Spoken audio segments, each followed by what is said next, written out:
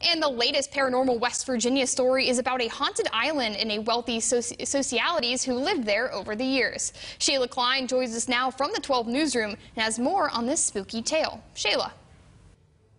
Blennerhassett Island was purchased by Harman and Margaret, Margaret Blennerhassett during the Revolutionary War period, and today the island is a state park, where some visitors say the family never quite settled into the afterlife.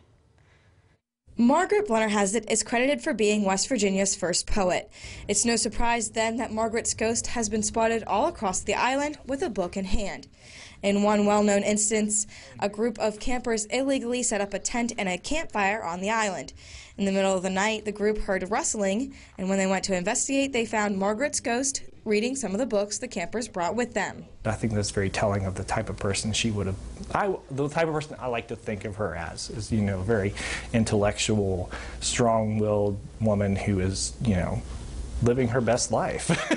you know, why not? Living her best afterlife. Another frequent sighting takes place inside the mansion. According to tour guide staff, children are known to see the ghost of a little girl in what is known as the Walnut Room. Some speculate that the little girl could be baby Margaret, who was born on the island but did not survive infancy.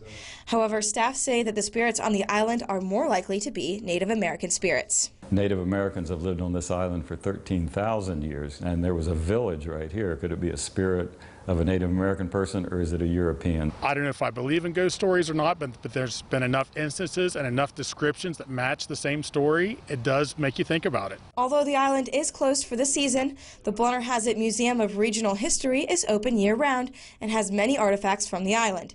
The island opens up again in May of next year.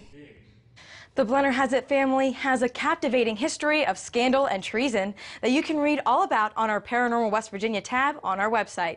Live from the newsroom, I'm Shayla Klein for 12 News.